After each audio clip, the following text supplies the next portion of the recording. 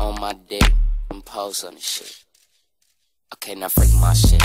Freak my shit. Freak my shit.